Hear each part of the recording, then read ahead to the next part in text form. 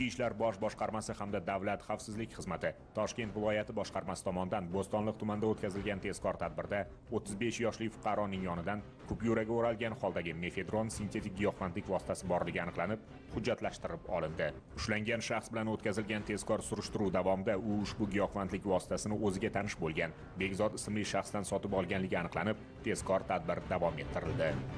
Birinchi ushlangan shaxs bilan davom ettirilgan tezkor tadbir natijasida u nazarda tutgan bekzod ismli fuqaro ham ashyoviy dalillar ustida qo'lga olindi. 30 yoshdagi ikkinchi gumonlanuvchi bo'lgan shaxs 20 may kuni yuqori chirchiq tumanida o'tkazilgan tezkor tadbirda nazoratdagi xaridorga 600 ming so'm evaziga 14 dona lirika kuchli ta'sir qiluvchi dori vositalarini sotgan vaqtida tadbir ishtirokchilari tomonidan ushlandi. Shuningdek bekzodning avtotransport vositasidan yana 42 dona shu turdagi kuchli ta'sir qiluvchi dori vositalari daliliy ashyo sifatida hujjatlashtirib olindi shu tariqa nazoratdagi surishtiruv ishlari davom ettirilib bekzod o'zining yonida bo'lgan ushbu kuchli ta'sir qiluvchi dori vositalarini avvaldan tanishi bo'lgan dilshod ismli shaxsdan sotib olganligi aniqlanadi va tezkor tadbir davom ettiriladi.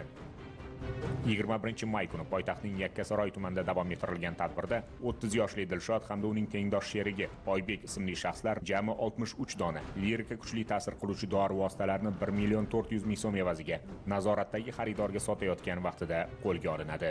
Ushbu og'ufurushlar zanjirini uzish hamda ushlangan shaxslarni dori vositalari bilan ta'minlayotgan manbani aniqlash maqsadida keng masshtabdagi o'rganish va surishtiruv tadbirlari davom ettiriladi. E'tibor 4 shaxsga ushbu og'ufurushlarni furushlarni katta miqdorda dori vositalari bilan ta'minlab kelayotgan asliddinga qaratildi.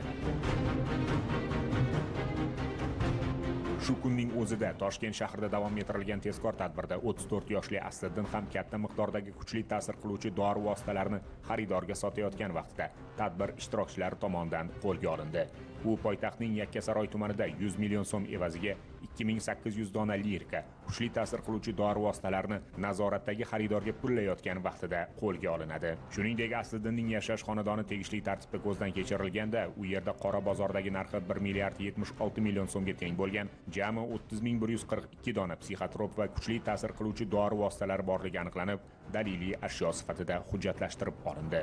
Bugungi kunda toshkent viloyati ichki ishlar bosh boshqarmasi hamda huquqni muhofaza qiluvchi boshqa organlar bilan hamkorlikda viloyat hududi bo'ylab giyohvandlikning har qanday ko'rinishiga qarshi keskin va murosasiz nazorat reyd tadbirlari tashkil etilmoqda. Xususan bo'stonliq tumanidan boshlanib toshkent shahrida davom ettirilgan navbatdagi tezkor tadbir davomida kuchli ta'sir qiluvchi psixotrop dori vositalari savdosi bilan shug'ullanuvchi besh nafar shaxsdan iborat jinoiy guruh faoliyatiga chek qo'yilib qora bozordagi narxi uch milliard ikki yuz yigirma ikki million so'mga teng bo'lgan. Jami o'ttiz uch ming dona kuchli ta'sir qiluvchi psixotrop va sintetik dori vositalarining muomalasiga chek qo'yildi. Hozirda aniqlangan holatlar yuzasidan o'zbekiston respublikasi jinoyat kodeksining ikki yuz ellik birinchi moddasi uchinchi qismi bilan jinoyat ishi qo'zg'atilib tergov harakatlari olib borilmoqda.